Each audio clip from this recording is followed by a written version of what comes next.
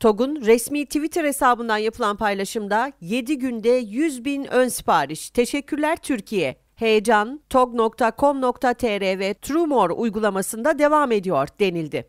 2023 yılı boyunca kullanıcılarla buluşacak 12.000 T10X için ön sipariş sahiplerini belirleyecek çekiliş süreci 27 Mart'a kadar devam edecek. Bu süreçte TrueMore uygulamasından veya TOG web sitesi üzerinden True.id oluşturan her bir tekil kullanıcı, havale ya da kredi kartı aracılığıyla TrueMore e-cüzdana 60 bin lirayı aktardıktan sonra ön sipariş vermek istedikleri T10X'i konfigüre edip ön ödemeyi yaparak çekilişe katılmaya hak kazanacak. Ön sipariş dönemi kapandıktan sonra dijital çekiliş 28 Mart'ta noter huzurunda yapılacak.